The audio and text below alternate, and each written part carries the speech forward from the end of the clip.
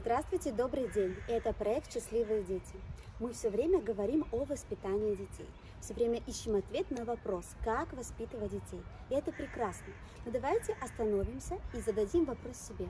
А как насчет самовоспитания? Неужели мы не нуждаемся в исправлении? А ведь работа над собой напрямую связана с воспитанием детей. Недавно в главе Вайра мы с вами читали об испытаниях Авраама.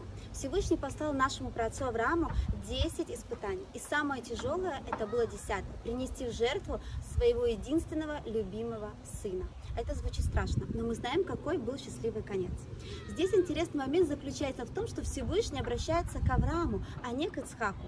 Исхаку на то время было 37 лет, и он мог сказать, я не слышал, ко мне Всевышний не обращался, я не хочу быть жертвой. Испытание заключалось в том, чтобы проверить богобоязненность Авраама.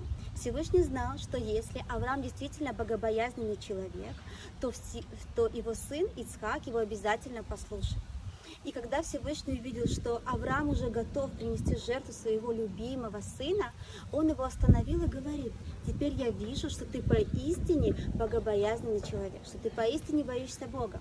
Ведь если бы он таким не был, Исхак бы его не послушал.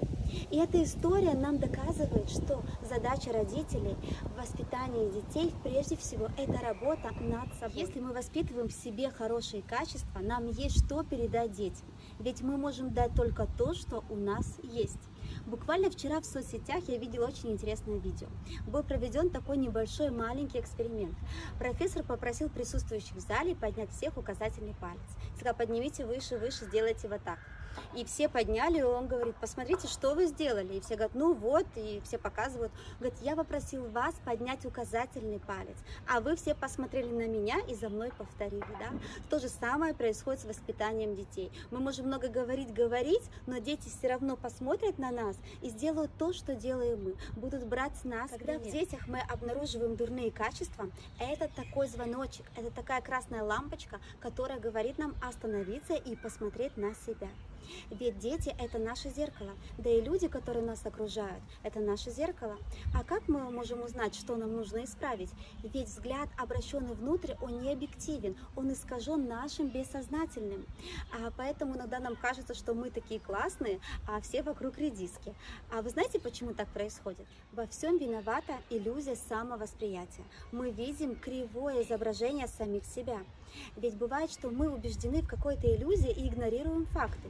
Например, человек считает себя щедрым, но если посмотреть, что вчера он э, сэкономил лучшей подруге на подарок, или ему сложно каждый раз жертвовать свою десятую часть дохода на благотворительность. Такие люди находятся во власти иллюзии и игнорируют факты. И здесь на помощь к нам приходит рефлексия. Это обращение своего внимания на самого себя.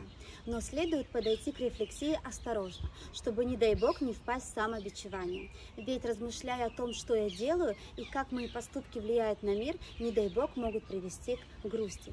Поэтому здесь важное значение имеет, какой я задаю себе вопрос во время самоанализа. Если мы зададим себе вопрос «почему?», и обычно, наверное, человек задает себе, когда есть какие-то проблемы, вопрос «почему?», то вопрос «почему?», скорее всего, приведет нас к мысли о том, что мы во всем виноваты и все плохо, и мы сконцентрируемся на проблемах. А важно, когда мы рефлексируем, занимаемся самоанализом, что это двигало нас вперед. Поэтому очень важно, какой мы вопрос себе зададим.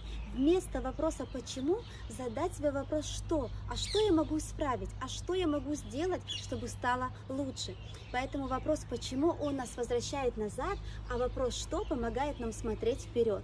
И если мы задаем себе правильный вопрос, тогда э, в работе над собой мы будем видеть успех. Попробуйте уже сегодня пронаблюдать за собой, насколько объективно вы себя видите. Обращайте внимание на факты и игнорируйте иллюзии иллюзию.